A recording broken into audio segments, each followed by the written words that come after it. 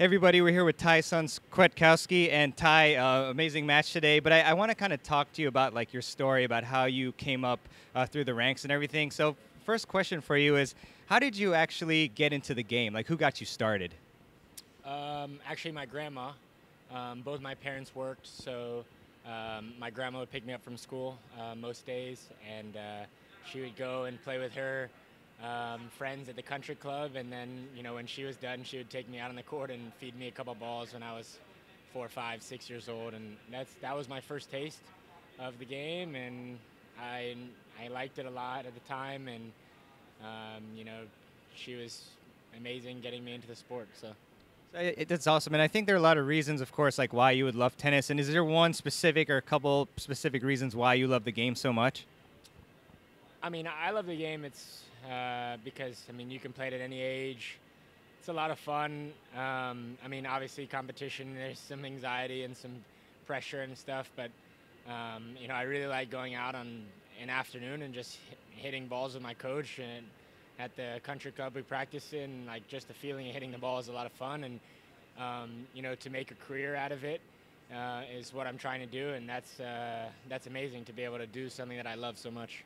Yeah, for sure. And, and Ty, I know it's probably been a while, but uh, like, if do you remember your first tournament, like your very first tournament, and like walk us through like how that experience was for you? I was, I think, seven, and I lost like, I think my first four matches. I played two tournaments. I lost them all 6-0, 6-0. I didn't win a game until like my fifth match.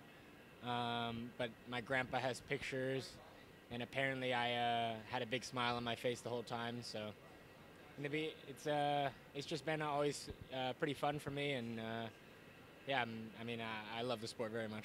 Awesome and i think that's great foreshadowing for like why you're successful on, on the court like on tour because somebody a lot of people who kind of would lose like four in a row they'd probably quit maybe even after their first match. So like what what happened? Like uh, like why did you keep going?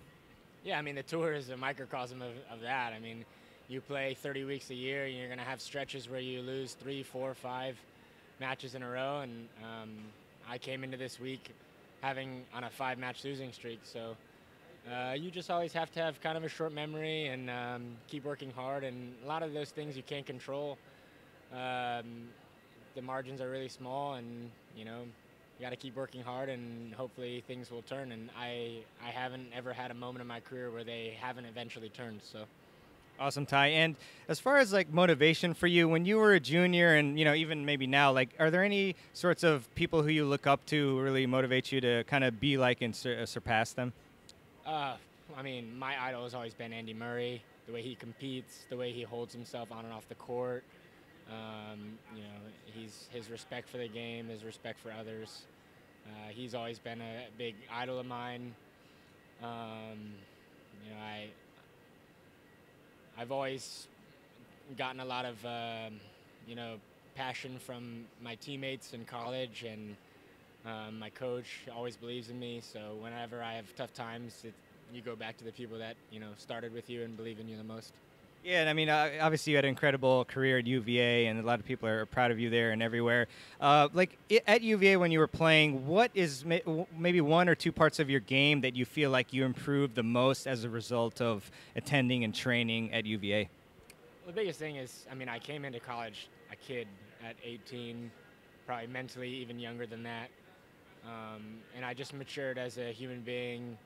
Uh, realized that you know the sport is a lot bigger than you know myself and what it means to play for a team, what it means to play for something bigger than yourself, and uh, that was that's kind of what I'm trying to put together here for myself and my career. You know, it's it's tough to play 30 weeks a year for yourself, but if you can do it for you know a team, obviously it's not exactly like a team in college, but um, you know you have you know reasons to find motivation when it's when you're tough and it's hot and you know you're down and out, um, those are the times where you can, you know, find motivation from your team.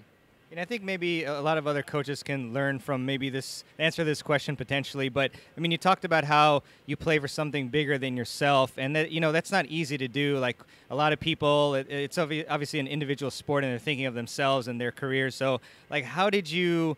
End up being able to like inculcate that sort of uh, mentality in your mind and, in your teammates as well, and then actually you know uh, take that and run with it? It was just a culture that was established from my second year of college. Um, you know, really appreciating you know what what your teammates have, uh, are doing and getting to know them off the court. Um, you know, and if you can you know realize what kind of people they are, because at the end of the day, uh, all those guys are really good guys, and and whenever you have differences, you realize that you all have a common goal, and um, that's that was the biggest thing, and. Uh, I mean, those guys are my closest friends, and you know, I can't wait to have more memories with them. And uh, it's nice that some of us are on tour now, so we get to spend a lot of time with each other. Yeah, it definitely is wonderful. And as far as college goes, I mean, you, you had so many championships, but what was, in your mind, the most enjoyable moment? What brought you the most joy out of all of your moments at U- UVA? Oof, of my whole college experience, probably yeah. just. Uh, some of the travel days, a lot of fun, bus rides. Um, you know, I we had a lot of good times going having birthday dinners. Um, Charlottesville is an amazing place, uh, doing so many things. Um, you know, obviously the, the, the championships are really nice, and uh, the rings are cool to look at sometimes. But at the end of the day, the biggest thing is that those guys are. Um, those are the biggest things I got out of college, having those guys in my life, and uh, yeah, I mean, we I, we I text them every day. I FaceTime every day. We talk a lot, joke, and uh, those guys are my brothers. So that's that's the biggest thing. Awesome, yeah, and for sure, it's kind of proven that relationships are, are the most important thing in life. So it's amazing. Uh, kind of a like weird side question, but do you have a favorite winery in Charlottesville? Ooh, I do. Um, I love. It depends on depends on what I'm going for. If I'm going for like with a bunch of friends, uh, King's Family is a great one. Uh, it's got a good area and big seating for a lot of people. If I'm going on a date, I would say Jefferson Winery. Okay. Um, if I'm going just for a casual afternoon and I just want a little bit of everything, Pippin is great.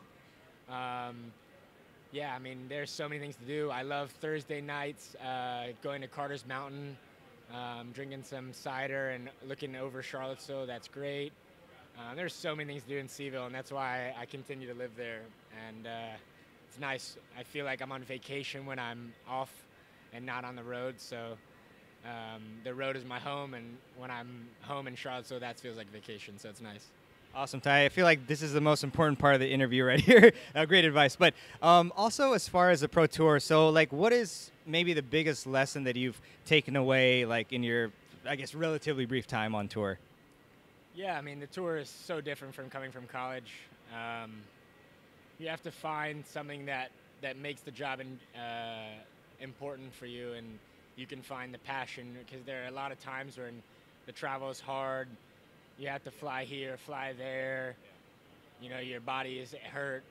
You know, and if you can find something to uh, make you realize why you're going through all those tough times, then you can find a way to keep going. And, and for a while, I struggled with that, um, but I'm, you know, trying to work hard to find that uh, motivation every week, you know.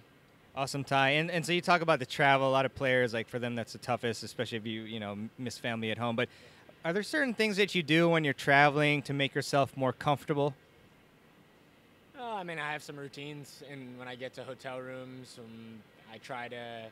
I'd say don't skimp on the travel. You know, if you can pay an extra $150 to have one less stop or shorter layover, do it. Um, yeah, I mean, it, you got to make it as easy as, as possible for yourself if if you can. A lot of times it's really tough too, but yeah, I mean, try to keep the mind fresh as much as possible, really. Yeah, that makes a lot of sense, Ty. And so you talked about like not skimping, like when it's really important and will help your body, but also kind of relatedly, uh, any like financial advice, like just as far as I know, it's so tough on the tour. I mean, uh, you know, I'm not sure of the exact number, but it, I think they said something like after 150, you know, like you're not making like much money or any like you're in the red or black, I guess. But like, so how does that like? How can players kind of like help themselves out with that? Uh, I mean, that's it's a really tough question. I mean, I've been in the red slash black, however you want to call it, yeah. um, since I started, and you know, you have to really love the game because until I would say you're you know 120 in the world, you're really not making any money. Um, so you got to play for the love of the game, or you know whatever it is. If you really believe that you can get there, and uh, um, it's important to have financial backing, really. And I, I, took out a loan to start my career. Um, so if you know you want to put pressure on yourself like that, I would say that hurt me a little bit because you know I was thinking about it all the time. Um, you can do that. I mean, hopefully, you know, you can get some sponsors, some agents. You know, that's always it's always very helpful if you have those things. Um, but yeah, I mean, it's a tough sport out here. Yeah, yeah, I definitely agree. And the, I mean, yeah, if, if you were to, I mean, go back, which I mean, I'm, you've made the best decisions you can. Like, would you advise people like get like a loan? Is that like a better way to go about it rather than just paying, paying, and then, you know, having a debt? I mean, it all depends on your financial situation. If you have you know, family that's going to help you out or a private, you know, sponsor, yeah. and you don't need to do those things. But um, it really all just depends. I mean, yeah. you got to do what you got to do in order to, you know, be able to pay for your flight to a tournament. You know, you're not making any money at these tournaments, but uh, yeah. Cool, man. And uh, just a couple other questions for you, like uh, hopefully fun questions. But like, what what favorite TV show? Like, what's your favorite TV show? And what's your favorite musician? Oof. Um, you can give a couple if you can narrow. Musician is for sure the band Arizona. Um, they're great. Um, I love Tom Walker's music. He's really great. Great chill. Um, great vibes. Uh, guilty pleasures probably like Kygo, Chainsmokers. Seen them live a few times, and that's been fun. Uh, favorite TV show? I watched the Game of Thrones all the way through. That was my big hype for the last decade. The last season is probably. I mean, I've had a pretty good life, so it's been. It was probably top five most disappointing things that's ever happened to me. I've heard. Yeah, that was. Uh, was very upsetting. If any of the directors ever watch this, I want you to know that you've disappointed me deeply, and uh, that's something I might not ever get over. I'm going to tag them all so that they have a good chance of seeing it. but no problem. But uh, as far as uh, so, so, the Citi Open, I mean, like we obviously saw like how excited you got and, and great comeback today. Um, uh, what does it mean to you to, to qualify for basically like your the, the, big home tournament for you? Yeah, like you said, this is my home tournament. I live in Charlottesville. Um, my my parents grew up in Northern Virginia. Um, most of my family is here in Northern Virginia in Arlington. So to have them massive support all the time, I really do feel at home here. I love the conditions. I love the court. I love the balls. Everything is, is really great for me. Um, so to have that crowd support today, I mean, it was almost like playing back in college and heard a lot of go Hoos in the crowd. And I don't know, I, I absolutely love it. It's my favorite tournament of the year. Awesome to hear that. Yeah, a lot of people with UVA uh, shirts on, so that's great to see. Um, as far as your pre-match uh, meal and also post-match, can you kind of maybe give us an idea of maybe like one dish that you like really get to go to for before and also for after recovering? Mm, pre-match, I usually go uh, light sandwich, very simple, turkey cheese, nothing too special. Yeah. Uh, afterwards, try to get something more substantial, whether that's a pasta or like chicken or salmon with rice. Um, love Chipotle, big Chipotle guy. Um, so yeah, stuff like that. I, I, really don't have too much uh, of a diet. Uh, really, I mean, I probably could do better with it. Um, but yeah, I mean, nothing special really. I mean, I love to eat and I love to eat good restaurants. So, you know, when I'm on the road, I search the nicest restaurant, not nicest, but like, you know, great restaurants to go with my coach and uh, family. And so, yeah, I mean, I definitely try to eat good for sure. Awesome. Ty. Just a couple more questions. I know you have to run, but um, as far as uh, recovery, like, do you have like a, a routine that you usually go through? Yeah, um, I use a uh, this product called MG12. It's a magnesium uh, that I, you know, it's basically uh, similar to Epsom salt, but it's basically some magnesium salt. I take a bath in that, um, kind of help magnesium get in my body. Nice warm bath feels good. Um, I have a Normatec machine to help refresh the legs, uh, you know, try to hydrate really well. Um, one, one product I use also for my drinks is the right stuff. Um, has a lot of sodium. It's really great. Uh, I've been using it since college. Um, it's a great product, and uh, yeah, I mean those are the three things I definitely do to get my body ready, and then you know try to sleep well. Sleep's huge. Awesome, appreciate that, Ty. And so one last question for our audience, mainly 3-0 to 5-0 players, I'd say. Uh, what is one key tip that you can give them to help them improve their tennis games? Hmm. Um, hit the ball back in the path it comes through. So if the ball comes high, um, you're going to want to hit it back in the same plane it comes through, you know? So if the ball's low, you know, there's no need to, you know, try to send it back with a lot of spin, you know, just kind of stay through the ball. And uh, yeah, no need to overplay. I mean, tennis is a game of errors, not a game of winners. Um, so I would, I would, that would be the biggest thing is I tell them, and you know, if you can put more balls in the court than your opponent, you're most likely going to win. Awesome, Ty. Great seeing the hometown guy win, and uh, best of luck in the main draw. Thanks a lot.